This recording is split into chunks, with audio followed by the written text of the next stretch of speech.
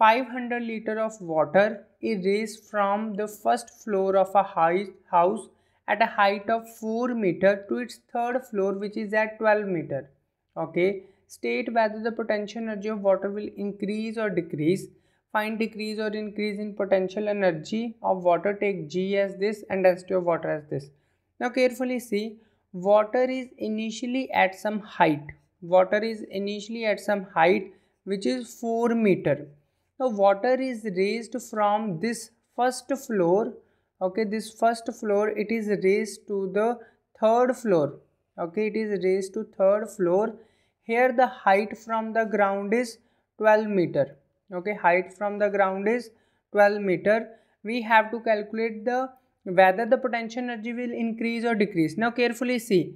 Height will increase or decrease? So initially height is initial height we have 4 meter final height we have 12 meter. So height is actually increasing. It means that potential energy is increasing. Now we have to calculate the increase in potential energy. How much this potential energy is increase which is mg final height minus mg initial height. So mass we have here mass is not given. Here volume is given and density is given. We know that density is equals to mass per unit volume. So mass is equals to density into volume.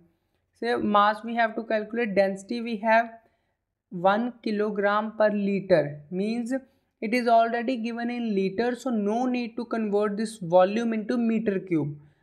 Density is already given in liter so we got the mass in kg. So 1 and 500 liter as volume.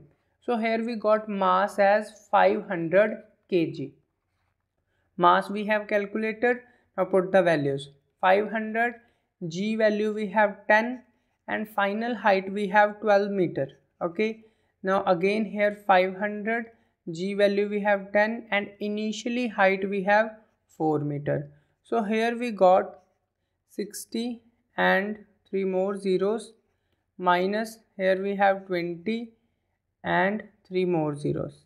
Clear so here we got 40,000 uh, this is energy so joule. So here you can also write 10 raised power 3 into joule 40 kilojoule so increase in the potential energy we got it as 40 kilojoule you can also write it in the zeros form that is 1 2 3 4 so 4 into 10 raised to power 4 joule.